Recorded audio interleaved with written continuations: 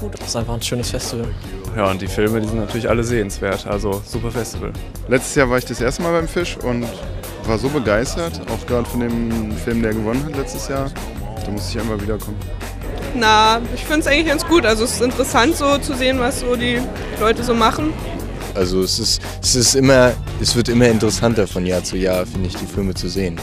Und das Besondere ist irgendwie, dass man sich eigentlich gut aufgehoben fühlt und nicht wie bei so hässlichen großen Festivals irgendwie äh, man dann so gar nicht so richtig ist, obwohl man einen Film eingereicht hat. Sehr, sehr nett. Also entspannt, schöne Kurzfilme, Animations alles bunt gemischt, Animationsfilme und Man wird irgendwie so angespornt, selber kreativ zu werden. So, das finde ich ganz schön. ich finde es echt cool. Also vor allem der letzte Block, der Block 5, der war saulustig.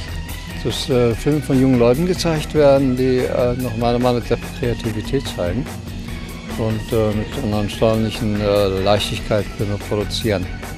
Leider haben jetzt schon alles gesagt. Ne? Ich mag auch Hafen, Turnhalle, Festival. Alles. Ist gut gelungen, finde ich.